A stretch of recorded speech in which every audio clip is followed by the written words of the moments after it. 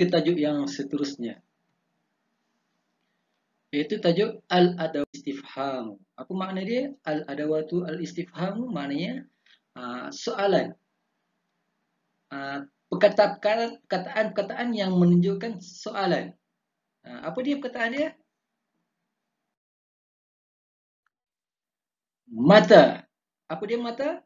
Bilakah? Maza? Apakah? Aina? Di manakah? Kam? Berapakah? Kaifa? Bagaimanakah? Man? Siapakah? Okey, cuba ulang sekali lagi. Mata? Bilakah? Maza? Apakah? Aina? Di manakah? Kam? Berapakah? Kaifa? Bagaimanakah? Man? Siapakah? Okey, ini perkataan soalan ni ha, kita nak isi dekat mana perkataan-perkataan berikut ni. Okey, contoh soalan dia. Ini antara contoh. Ha, untuk perkataan anta dengan talibun ni, kita boleh menggunakan satu soalan. Sama ada kita guna soalan. Uh, jadi jawapan kita, uh, Ustaz letak di sini adalah perkataan man. Kita boleh guna man. Man anta. Siapakah awak? kita boleh juga ha, dengan man talibun. Siapakah pelajar? Ha? Siapakah pelajar? Ha? Buat apa ke pelajar yang ha, dalam sekolah ke tak dalam sekolah ke dia boleh boleh pergi ni man talibun. Ha? Kalau kita guna mata bila? Bila ke awak? Macam tak kena. Bilakah pelajar? Tak kena. Kalau kita ambil kam, kam anta, tak sesuai. Berapa awak? Berapa pelajar? Ha, jadi macam tak kena. Yang yang paling sesuai adalah guna man.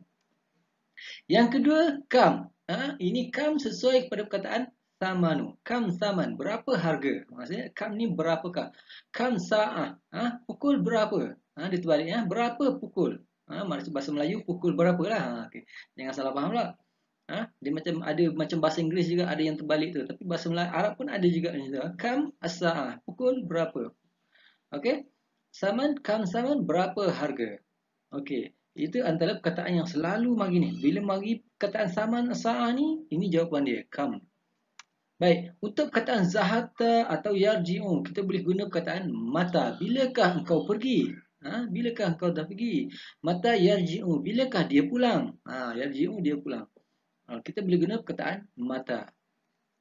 Untuk fa'alta yakra'u, kita boleh guna maza. Maza fa'alta. Apakah awak ha, yang telah awak buat. Apa yang awak telah buat? Maza yakra. Apa dibaca? Ha, boleh. Boleh guna perkataan apakah yang dibaca. Okey. Seterusnya perkataan kaifa dia akan mari perkataan haluka. Kaifa haluka? Ha, jangan pula mata haluka, kam haluka, man haluka memang tak kena. Maza haluka tak kena. Ha, kalau guna maza haluka terjemah bahasa Melayu boleh gaduh. Maza haluka? Apa hal kau? Ha, jadi macam tu. Lagi tak sesuai. Guna kaifa haluka. Bagaimana hal kesihatan, keadaan awak. Kaifa yal'abu. Boleh juga. Bagaimana dia main? Ha, bagaimana dia main? Ini masuk dalam uh, soalan yang kadang jarang-jarang ada. Tapi boleh guna ya. Baik. Dan satu lagi. Aina tazhabu. Kau nak gimana? Ha? Aina di manakah tazhabu? Awak pergi. Ha, awak pergi mana? Ataupun boleh guna pada perkataan uh, alat. Contohnya. Aina qalamun. Di mana pen? Ha, boleh juga kita guna. Okey. Baik, ada ketikanya dia mari macam ni dan dia mari berbentuk soalan soal apa? Pilihan. Untuk anta dia mari pilihan macam ni. Man anta atau kam anta. Jadi kena tahulah makna dia. Anta awak ini memang boleh kata semua tahulah. Man siapa awak? Boleh. Kam berapa awak? Jadi tak kena. Yang mana kena? Man. Ha, dia so garis jawapan yang betul. As-sa'ah. Ada soalan dia. Maza sa'ah atau ke kam sa'ah? Ha? Ini berkaitan jam. Nak tanya berapa. Pukul berapa macam tu. Jadi kita guna kam. Yarji'u. Dia pulang. Dia bagi perkataan apa yang boleh. Mata yarji' ke aina yarji'? Ha? Bila pulang ni dia kira kira-kira apa ber, berkaitan dengan masa. Jadi mata yarji' ke aina yarji'? Bila dia pulang ataupun di mana dia pulang? Ha, di mana macam tak kena ha? kita kena mata bilakah dia pulang haluka okey dah ada tadi ya kaifa ke maza ha? nak cari gaduh ke nak cari ha, kawan macam tu Kaifa haluka? Bagaimana hal? Ha, jadi kalau cikgu gaduh, maza haluka? Ha? Ma haluka? Ha? Apa hal kau? Ha, macam tu. Kaifa haluka? Kalamun, ha? tadi kita dah ada satu kataan, pen. Ha? Apa kita guna? Bila pen, mata. Mata kalamun. Ha? Tak kena. Aina kalamun. Boleh jawab macam ni. Okey, ini antara soalan-soalan yang kita boleh uh, kena ingat. Ha? Ini antara soalan yang yang mungkin keluar, Ustaz tak pasti. Ha? Bukan Ustaz yang gubah soalan. Tapi ini antara, adalah antara soalan-soalan yang dah keluar sebelum ni.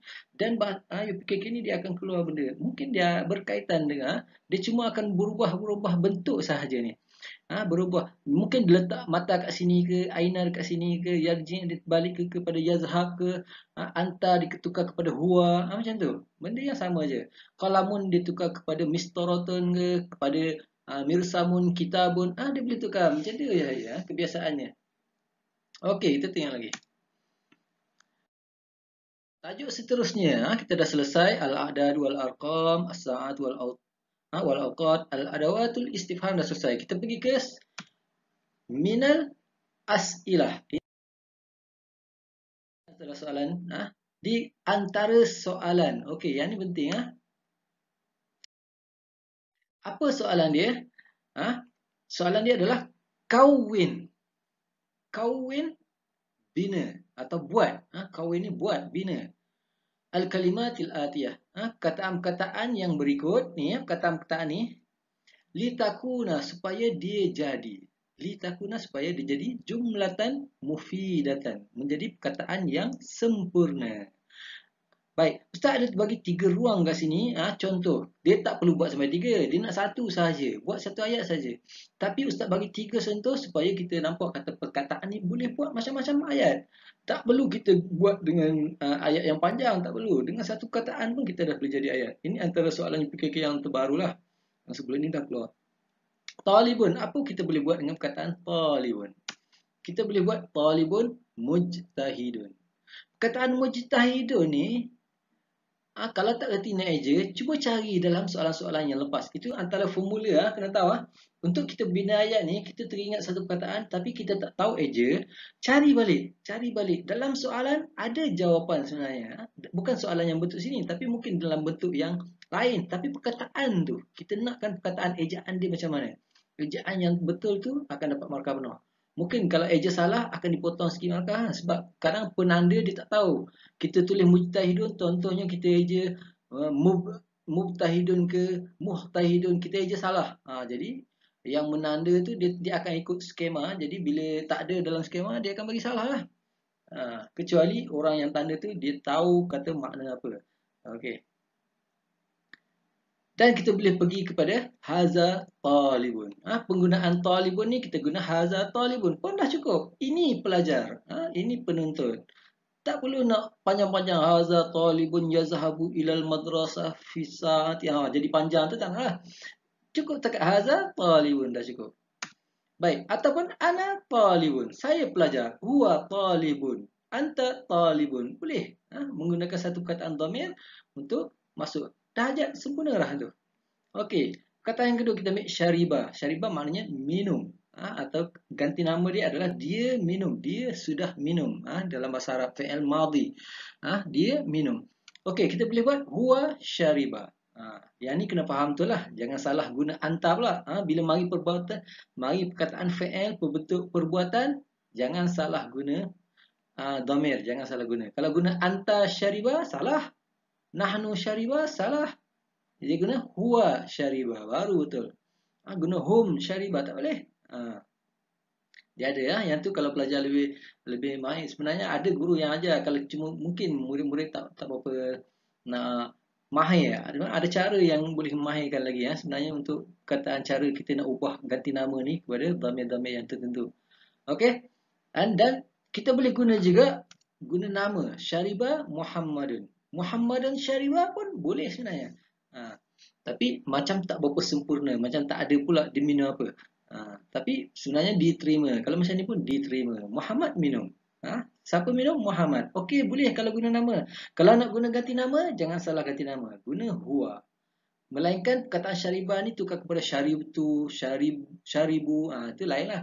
Ha. Kalau tengok baris atas belakang ni, ha, ingat. Bila baris atas, ingat huwa aja. Ha, itu cara dia. Man syariba. Boleh juga. Siapakah yang minum? Ha, siapakah minum? Boleh. Ha, kita pergi ke kursiyun, kerusi. Apa kita buat? Haza kursiyun. Boleh. Zalika kursiyun. Ha? Boleh letak zalika kursiyun. Aina kursiyun pun boleh. Kita bagi bentuk soalan pun ayat sempurna juga. Ha? Ayat yang sempurna ni tak semestinya ayat ha, nyata. Ayat soal boleh. Ha. Raja'a pulang sama macam syariba kita guna huwa raja'a. Raja'a Muhammadun, raja'a Zaidun, raja'a Firdaus. Ikut sukalah nak bubuh nama siapa ha? Tapi jangan bubuh nama perempuan sudah sebab raja'a ni untuk lelaki. Ha? Ingat, jangan raja'a Aisyah salahlah. Ha, kalau untuk Aisyah kita kena kata raja'at.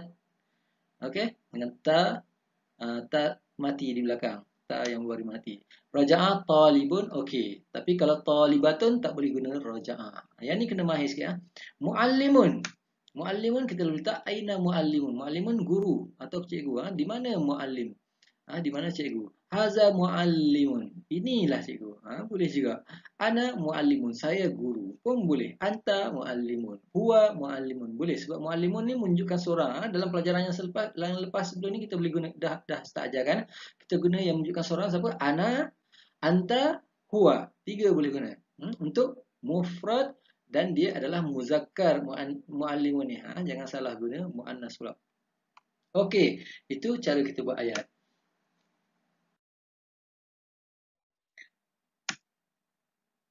Baik, soalan seterusnya ratib. Ah ha, tadi kawin. Kawin maknanya bina ayat. Ha, buat ayat. Tapi ratib ni susun. Ha, susun perkataan-perkataan menjadi ayat supaya ha, supaya susun perkataan yang berikut menjadi ayat ha, menjadi jumlah yang sempurna. Baik, ini perkataan-perkataan dia. Contoh Maryam Al-Quran Taqra. Ha, Maryam Quran baca. Ad-Dars Muhammad Yaktub. Ah, Ahmad Yaktubu. Ha? Dalam makna dia, Ad-Dars pelajaran, Ahmad Yaktub dia tulis. Al-Mauza pisang, Aisyah tu Aisyah, Takul makan. Fil, fil musalla, dalam musalla, dalam surau lah maksudnya. At-Tilmizu, ha? murid-murid, Yusalli, dia sembahyang. Min Al-Fasli, dalam, ha? daripada kelas. Daripada kelas. Apa dia? Kharaja, keluar. Al-Ustazu Ustaz. Ha? Ustaz daripada kelas. Okey. Ini perkataan-perkataan yang disusun secara berselera. Tak sempurna ayat ni. Kalau diterjemahkan memang tak sempurna. Maryam Quran baca. Ha? Jadi macam tak kena dalam bahasa Arab. Ha? Dalam bahasa Melayu pun kita tak kena. Jadi, sekiranya ini antara salah satu formula lah. Sekiranya kita tak tahu makna ni. Tak tahu makna.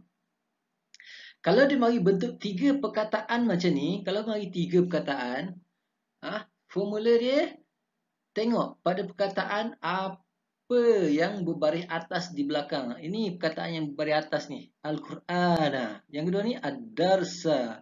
Yang ketiga Al-Mauza. Yang keempat mana? Oh, ini empat perkataan. Empat perkataan kita ketepi. Kita ambil yang tiga perkataan ni. Ini formula. Ha, formula. Kalau tak tahu makna lah. Kalau yang dah tahu makna senang. Ha, yang tak tahu makna. Kita guna ha, cari yang berbaris belakang ni. Eh, Ad-Darsa, Al-Qur'ana, Al-Mauza. Apa kita buat? Kita letak di belakang sekali. Letak di belakang sekali. Yang kedua, apa yang kita nak letak kat tengah? Letak nama orang. Mana nama? Maryam. Mana nama sini? Ahmad. Mana sini? Aisyah. Letak dekat tengah. Dan yang bagi satu lagi, letak dekat depan. Jadi kat sini, ini yang kat depan adalah Taqra'u. Yang kedua, Maryam. Yang ketiga, Al-Quran. Itu cara kita menjawabnya.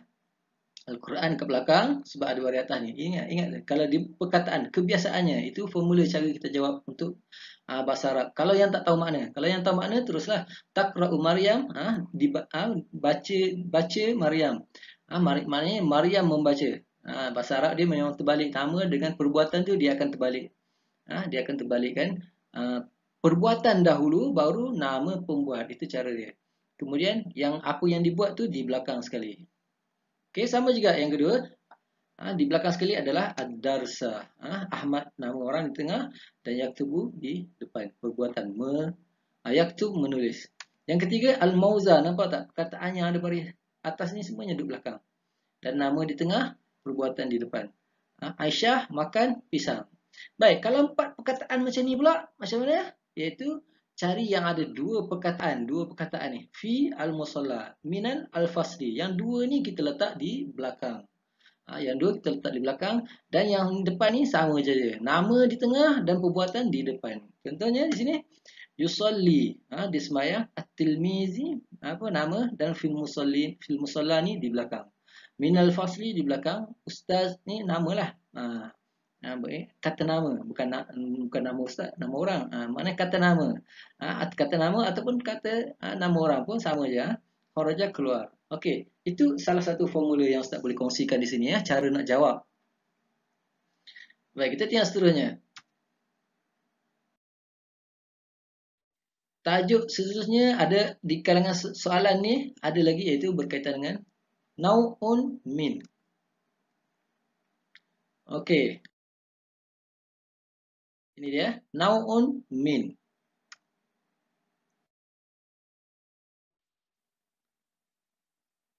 Dekat sini ada perkataan al-fawakihu, al-khadrawatu, al-hayawanatu. Ada tiga di sini ya. Ini contoh. Ada lagi sebenarnya yang lain-lain.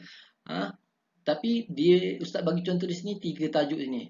Ha? Naun ni maknanya jenis. Jenis maknanya tajuk-tajuk ni. Jenis apa? Jenis buah-buahan ke? Jenis sayur-sayuran ke? Jenis haiwan ke? Ha, kita kena tahu betul-betul kat depan ni. Ha, kena tahu makna lah. Ha, masa pergi sini kita tak boleh, ustaz tak boleh lah nak, nak ajar apa makna. Tak boleh lah. Ini semua kena hafal ni. Asadun apa dia? Al-asadu. Al-mauzu apa? Al-basalu apa? Al-filu apa? Al-tufah tu apa? Kena tahu semua ni. Kalau tahu makna, senanglah atas ni. Ha, kita akan tahulah. Al-asadu apa dia? Singa. Singa naun min sejenis daripada apa? Adakah dia buah-buahan? Ha, singa tu buah-buahan ke? Singa tu sayur-sayuran ke? Singa tu haiwan ke? Ha, singa adalah haiwan. Itu cara dia, naun min selalu keluar dalam soalan berisa. Mauzu, al-mauzu apa dia? Pisang. Pisang adalah al-fawakihu, buah-buahan. Al-basalu pula sejenis sayur-sayuran al-khadrawatu. Kha ya, ustaz ha, tertinggal semua titik. Al-filu maknanya haiwan, gajah. Al-filu gajah mana? Min al-hayawanat.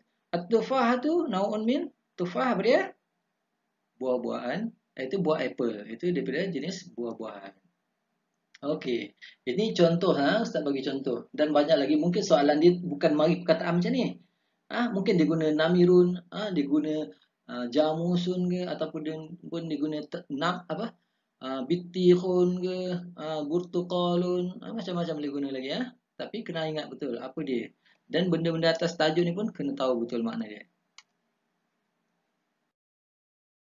baik yang akhir sekali saya tunjuk kat sini ini kalau boleh uh, hafal keseluruhan ni ini kalau dapat hafal semua ni senanglah jawab periksa ni ya tapi kena tahu betul makna dia apa Ha, hafal makna saja. Benda ni tak perlu nak tulis dalam periksa ni. Ini kena hafal makna dia betul-betul. Itu sahaja. Uh, Ustaz ulang-ulang sikit ni. Kam berapakah? Maza apakah? Kaifa bagaimanakah? Mata bilakah? Aina di manakah? Man siapakah? Ba'da selepas Qabla sebelum Baina di antara As-sanah tahun Asyahru bulan Al-usbu'u minggu Yaumu hari As-sa'atu jam Daqiqatu minit ha, Tamaman tepat Okey uh, Kat atas ini ya An-nisfu setengah. Ha? Ini, tak ada ya. An-nisfu setengah. Illa lagi. Ya? Ustaz bagi makna di sini lagi. Ha? Kalau ikut makna saya ha? kecuali atau melainkan. Tapi untuk jam ni kita terjemah lagi. Ha? Lagi senang kita nak, nak ingat dia. Ar-rubu'u suku. Ha? 15 minit. As-sulusu sepertiga. 20 minit. Ha? Ha? Itulah 20 minit. Kalau ada illa kat depan, maknanya terbalikkan pula. Ha? Suku ha? illa rubu' jadi 45 minit. Illa sulus 40 minit macam tu. Mufrad tunggal satu. Musanna dua. Jam'un banyak. Maksudnya tiga ke atas. Muzakkar lelaki, muannas perempuan. Haza hazi ini. Ha, zalika itu. Atau zanika itu. Okey. Itu sahaja. Ha, rasa pelajaran uh, Ustaz panggil apa? Pecutan akhir untuk bahasa Arab. Jadi, tengok Ah, layan video ni tengok betul-betul fahami betul-betul. Kalau tak faham mana ulang balik. Ah, ada soalan apa-apa boleh tanya pada ruangan komen di bawah. Ah, ustaz akan cuba jawab insyaallah.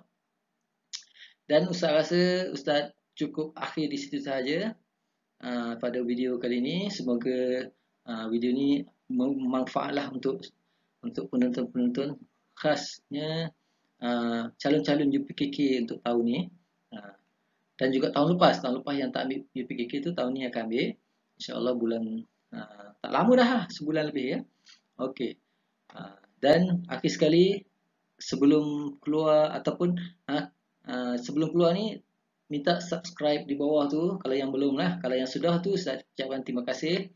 Uh, insyaallah akan datang ada lagi video-video yang ustaz akan tunjukkan berkaitan dengan UPKK tapi kali ini ustaz akan uh, fokus pula pada pelajaran Jawi ya pecutan akhir Jawi pula nah Arab dah selesai di sini untuk untuk mata pelajaran Arab okey sekian saja